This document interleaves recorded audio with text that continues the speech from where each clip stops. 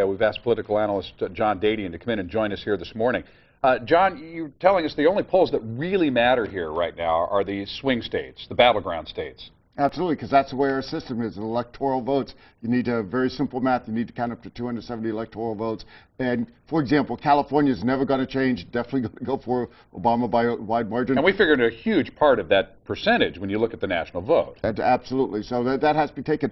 Also, keep in mind, all these different polls have different methodologies, whether or not they do registered voters versus likely to voters, et cetera. So uh, if you look at races, you know, for the past couple of decades, the numbers on election day sometimes are quite different from a poll taken just a few days before. Let's talk about the first debate that's expected to take place in Denver tonight. How crucial is this in those particular swing states and the undecided voters? The way it's looking is extremely crucial because of it's so close within the margin of error in almost all of those swing states. Uh, the, the clip that you just had is absolutely accurate. You don't want to make a mistake. Uh, if, if I asked you, ask the average person on the street, who won the debates in, in 92, 2000, nobody can tell you who won the debate, but if you ask, do you remember any famous gaffes, they could probably tell you the famous Ford gaffe of 76, famous uh, Dan Quayle comment. Uh, so, so those are the type of things people remember. Yeah, I'm looking at an article uh, that's referring back to the 02 race when uh, Romney was running for governor. In about the same time leading into the race, he was behind by about the same percentage, maybe even more, and he switched tactics. He went from being kind of the statesman that made him seem maybe a little bit aloof to some people, a little bit stiff, to going on the attack. Is tonight the night? Uh, not necessarily, because keep in mind, uh, although we're about to a little bit more than a month out, you have a total of three presidential debates. This is probably going to get the largest audience, you know, conventional wisdom is, but he still has those other two. So if he goes too much on the attack tonight, the president will come back in the next two. So he has to be a little careful. I'd look for a zinger or two. Okay. Let's talk about the topics that could potentially trip either one of these candidates up. What are they? Well, there's six topics tonight that they're cramming into 90 minutes, but half of those, three of those are going to be on the economy.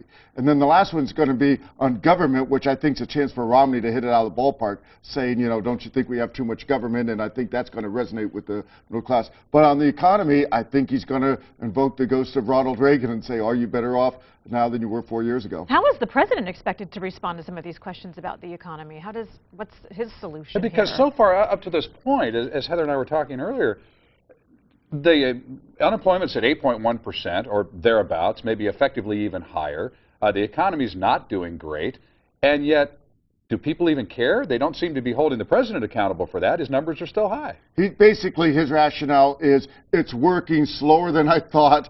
Give us time to work. We're on the right track. Let's not go back.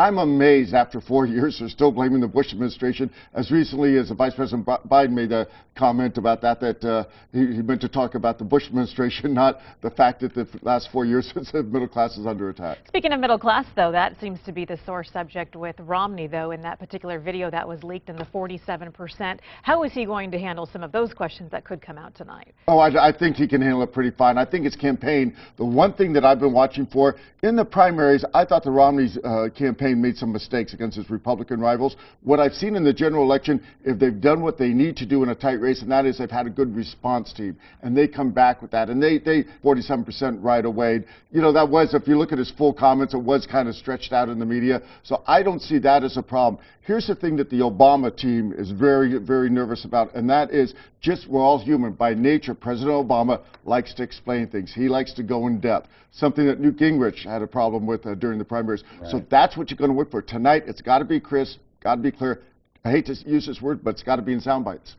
Right. You know, that's very interesting that you would you would mention that because you know when we talk to people outside of you know the news desk here and they they ask for a tip or two uh, on, on how to approach the media, we always tell them that. We say, you know, you, you need to speak in sound bites. If you want your message to be clear, don't give the media anything other than exactly what you want to give them, and then stay on that message and just keep repeating it. Several pollsters will have focus groups tonight that will follow them and live of the speech going on, and they do these little graphs uh, as far as people are listening or not.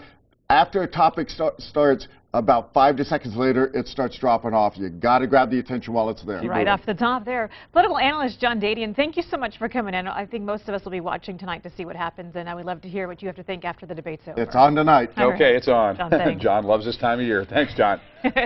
Coming up in our 7 o'clock hour, at the